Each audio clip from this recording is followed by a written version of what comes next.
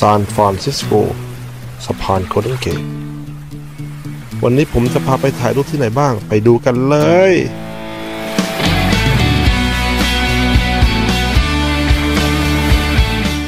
เราเริ่มจากนิวยอร์กบินไปซานฟรานซิสโกกันนะครับ ขับรถริมมหาสมุทรแปซิฟิกไปจนถึงสะพานบิ๊กเซอร์นะครับ สะพานอันยิ่งใหญ่อันนี้ แล้วก็ระหว่างทางนะฮะจะมีชายหาดสวยๆ เมืองสวยๆ เต็มไปหมดเลยนะครับ จะพาไปชมกัน หลังจากนั้นจะพาไปที่ Sequoia National Park นะฮะ ที่ที่มีต้นไม้ที่ใหญ่ที่สุดในโลก จะยิ่งใหญ่ขนาดไหนต้องไปดูกันนะครับ และเป้าหมายหลักของเราในทริปนี้นะครับ ที่ที่นักถ่ายภาพต้องมารวมตัวกันทุกปีนะฮะ จนต้องจำกัดจำนวนคนในโยเซมิเตะในช n น l พาร์นะฮะเรียกว่าปรากฏการณ์ Fire Fall นะครับ มันจะสวยจะพิเศษขนาดไหนไปดูกันเลยสำหรับทริปนี้นะฮะขอตั้งชื่อเลยว่าทริปมหาเฟล ส่วนตัวเที่ยวมาก็เยอะนะฮะ แต่ทริปนี้เฟลละเอียดยิบ ถ้าไม่นับที่พัก Airbnb ที่ถูกยกเลิกไปก่อน เริ่มทริปหนึ่งอาทิตย์นะฮะ กับพายุหิมะพายุฝนที่ เข้ามาแบบ grand summer sale ในช่วง 2 อาทิตย์ก่อนเริ่มทริป มาจนถึงทุกวันนี้ยังไม่หยุดเลยทำให้แผนเที่ยวต้องเปลี่ยนไป 7-8 ตลบนะฮะ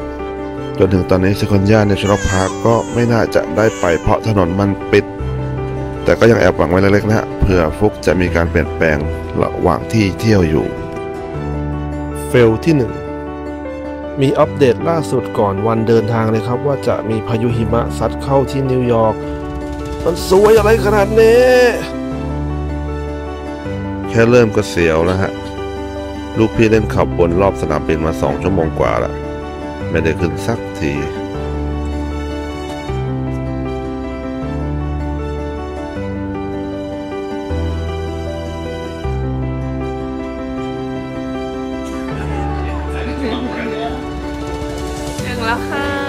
แต่สุดท้ายแล้วสุดแล้วนะฮะ เราเดินทางมาถึงซานฟรานซิสโกได้อย่างปลอดภัยก็โล่งใจแล้วฮะทริปไม่ล่ม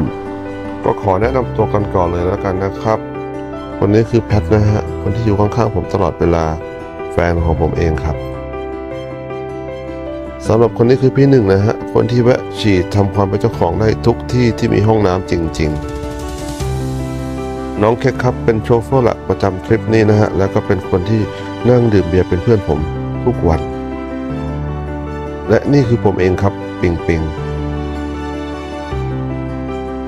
ซานฟรานซิสโกที่เราพูดถึงเนี่ย ไม่ใช่รัฐนะครับ เป็นแค่เมืองเมืองหนึ่งที่อยู่ในแคลิฟอร์เนียนะฮะ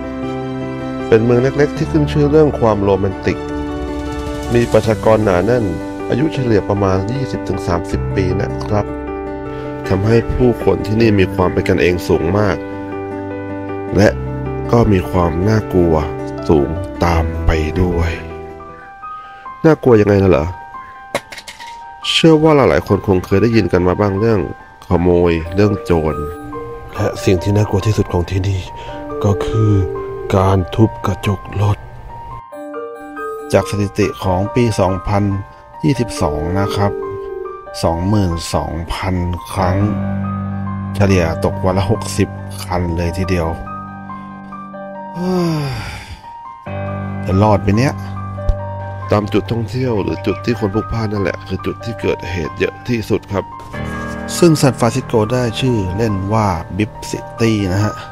ซึ่ง bipping เนี่ย เป็นคำสแลงที่ใช้เรียกออุปกรณ์เจาะกระจกรถนะฮะ ดูเอานะฮะ ลูกพี่เล่นวิ่งมาส่องตามรถเลยฮะ รถคันไหนมีของมีค่าหรือมีกระเป๋าเดินทาง มันทุบหมดนะฮะ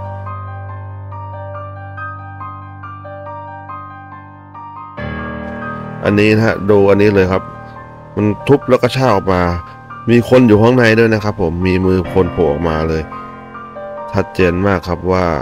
ไม่สนใจอะไรทั้งนั้น แล้วก็รีบขับออกไปเลย เมืองเถื่อนจริง ๆ ครับผม คือที่เอามาให้ลงให้ดูนี่คือไม่ได้จะนำเสนอในด้านลบอย่างเดียวนะครับ คือต้องการมาเตือนภัยสำหรับคนที่จะต้องมาเที่ยวที่นี่นะครับสำหรับโรงแรมของเราในคืนนี้นะครับ อยู่ติดกับน็อบฮิลจากตัวโรงแรมไปถึงที่ถ่ายรูปจุดแรกนะฮะขับรถ 2 นาทีเดิน 6 นาทีครับ ตัวผมนั้นได้ติดต่อกับโรงแรมไว้ก่อนแล้วว่าจะฝากกระเป๋าหลังจากเช็คเอาท์ด้วย ตรงนี้เพิ่งมาทราบทีหลังว่า เจ้าของโรงแรมเป็นคนไทยซะด้วย ตัวรถที่ผมเช่ามาเที่ยวนะฮะรอบนี้เป็นรถมินิแวนจะไม่มีกระโปรงท้ายรถนะฮะคืออยากให้แบบว่ารถโล่งไปเลยฮะไม่มีอะไรต้องมาลุ้นไม่ต้องมีกระโปรงท้ายรถที่จะต้องมางัดหรืออะไรแล้วแต่คือส่องจากข้างนอกมาคือรถโล่ง ไม่มีกระเป๋าอะไรเลย เพื่อไม่ให้เป็นการเสียนาฬิกานะฮะเรามาเริ่มที่จุดถ่ายรูปจุดแรกกันเลย อยู่ระหว่างถนน Powell กับแคลิฟอร์เนียนะครับ เป็นวิวที่ถ่ายถนนลาดชันลงไปเห็นสะพาน Bay Bridge นะครับ จุดเด่นของซานฟรานซิสโกนะฮะที่ทำให้นักท่องเที่ยวสะดุดตา ในเมืองนี้คือถนนที่มีความลาดชัน เนื่องจากถูกสร้างบนเนินเขานะครับ ถนนเส้นนี้ถือว่าเป็นย่านที่รุ่งเรืองที่สุดในซานฟรานซิสโก เพราะครอบคลุมด้วยระบบขนส่งที่ดี อย่างเช่นรถราง รถเมล์ทุกๆอย่างครับตรงนี้หนาแน่นมากณจุดนี้คือจุด ถ่ายรูปยอดฮิตจุดหนึ่งของซานฟรานซิสโกเลยนะฮะ Nob Hill ครับ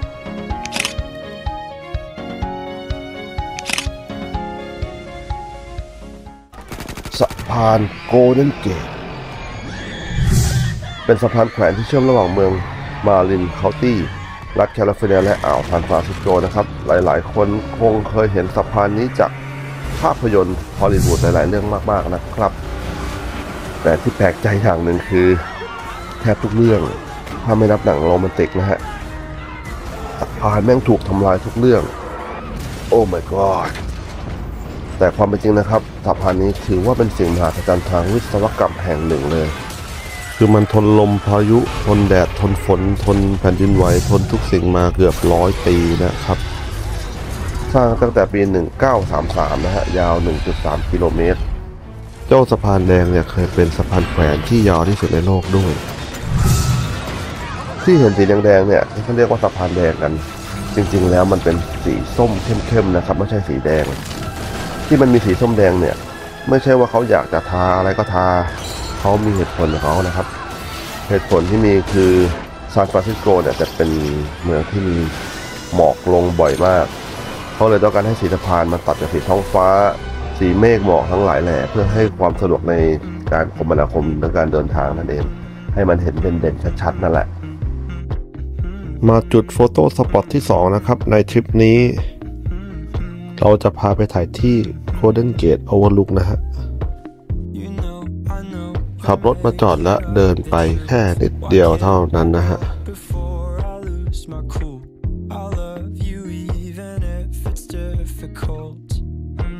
จุดนี้จริงๆ เราจะเป็นวิวที่เห็นโกลเด้นเกตตรงๆไปเลยนะครับ สามารถเดินไปอีกได้นะฮะ แต่ว่าเนื่องจากเครื่องบินเราดีเลย์และมีเวลาเหลือน้อยหน่อยทำให้เวลาเหลือไม่พอนะฮะพระอาทิตย์กำลังจะตกแล้ว เราจะต้องไปอีกจุดหนึ่ง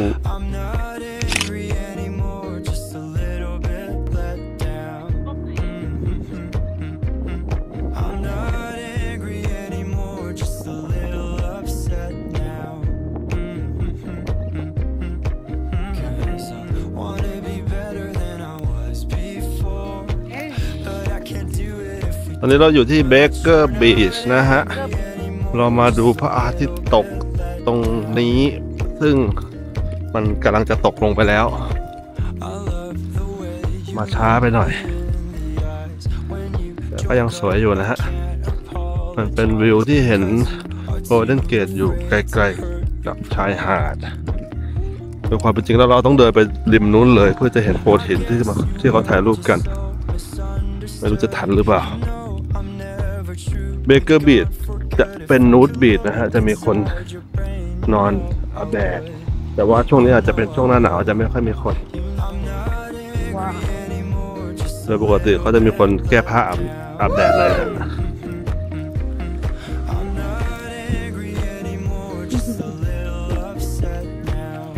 สวยเชียวระหว่างที่รีบจ้ำไปที่จุดถ่ายรูปนะครับ เราเจอคนขอแต่งงานนะฮะ ก็แอบถ่ายเขาแล้วก็ไปโชว์รูปให้เขาดู เขาก็ขอรูปไปเรียบร้อย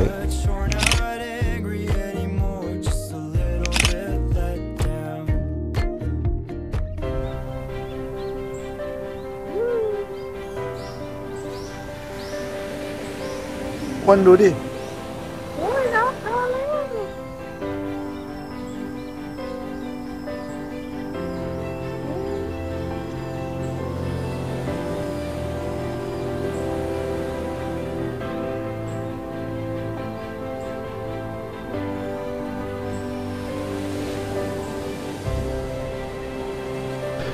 หลังจากที่ได้กำความเครียดความกดดันมาจากเมืองใหญ่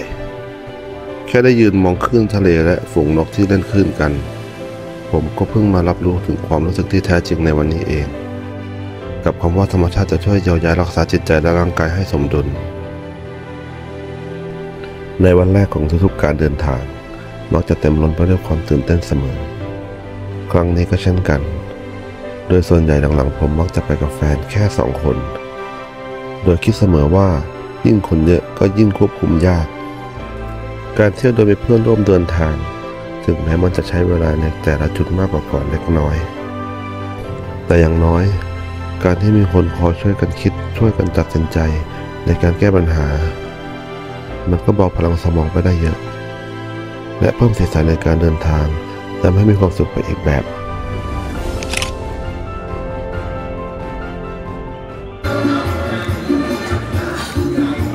เราอยู่ที่ร้านอะไรครับ ร้านหมูกระทะค่ะหมูกระทะไทย หมูกระทะไทยบาร์บีคิวอันนี้กำลังรอโต๊ะนะคะสำหรับร้านหมูกระทะ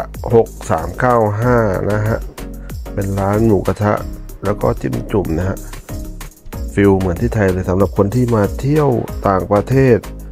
ตามหัวเมืองใหญ่ ๆ ไม่ว่าจะเป็นนิวยอร์ก LA ซานฟานชิคาโกอะไรพวกนี้นะฮะไม่ต้องกลัวเลยว่าจะไม่ได้กินอาหารไทยอร่อยๆนะฮะที่นี่อาหารไทยรสชาติไม่ต่างจากบ้านเราเท่าไหร่ วันนี้เราก็สั่งเป็นจิ้มจุ่มสำหรับ 2 คนนะฮะ59 เหรียญกับหมูกระทะ 2 คน 59 เหรียญนะฮะกินกัน 4 คนก็อิ่มท้องกำลังดีครับ รสชาติถือว่าใช้ได้เลยครับ แนะนำไม่ต้องอายอีกแล้ว วันนี้เราตื่นกันตั้งแต่ตีห้าหน่อยๆนะฮะ ฝากกระเป๋าไว้ที่โรงแรม ออกเดินทางไปอีกฝั่งของสะพานโกลเด้นเกตนะฮะ เพื่อไปดูพระอาทิตย์ขึ้นกันสำหรับจุดที่เรามาถ่ายรูปพระอาทิตย์ขึ้นกันนะฮะ เรียกว่า Golden Gate Beach Vista Point นะฮะ เป็นจุดถ่ายรูปที่เห็นเมืองซานฟรานซิสโกแล้วก็ Golden Gate ด้วยนะฮะ โดยปกติที่นี่จุดนี้จะเห็นหมอกเยอะ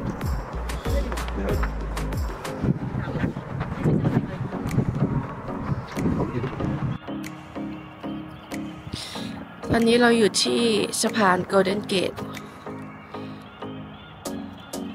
มาที่นี่ตั้งแต่7โมงเช้า เราตั้งใจว่าจะดูพระอาทิตย์ขึ้น แต่พระอาทิตย์ขึ้นแล้วเราก็ยังไม่เห็นพระอาทิตย์ อากาศค่อนข้างเย็นทำให้เกิดหมอกตอนเช้ามองไม่ค่อยเห็นอะไรเท่าไหร่ แต่ก็คุ้มนะคะ สวยอยู่ คุณที่ตื่นเช้า มาตั้งแต่ท้องฟ้ายังไม่สว่างเลยค่ะ นั่นแหละครับเฟลที่2ของเรา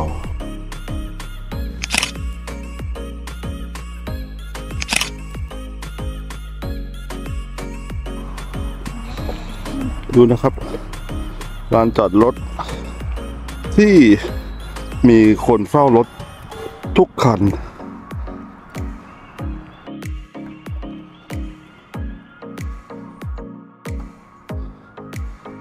าจะน่าจะเป็นเหตุผลจากการที่ว่า มีขโมยเยอะนะฮะสำหรับจุดถ่ายรูปจุดต่อไปนะฮะ จะเป็นจุดถ่ายรูปจุดสุดท้ายของ Golden Gate และก็คลิปนี้นะครับ จะเป็น Ford Point ครับ ขับรถกลับมาฝั่งเดิมนะฮะฝั่งซานฟรานซิสโกข้ามสะพาน Golden Gate นั่นแหละ จริงอยู่ที่ซานฟรานซิสโกมีมุมน่ากลัวอยู่ไม่น้อย แต่ถ้าเรารู้จักการวางแผนและระวังตัว เราก็สามารถเที่ยวได้อย่างสบายใจและมีความสุขได้ คงไม่มีอะไรทำให้ผมอิ่มเอมมากไปกว่าการที่ได้เห็นรอยยิ้มเพื่อนบนใบหน้า ที่แสดงถึงความไร้กังวลของคนที่เราร่วมเดินทาง เราจะยิ้มไปด้วยกัน ต่อให้มีอีกกี่เฟลผุดขึ้นมาก็ตาม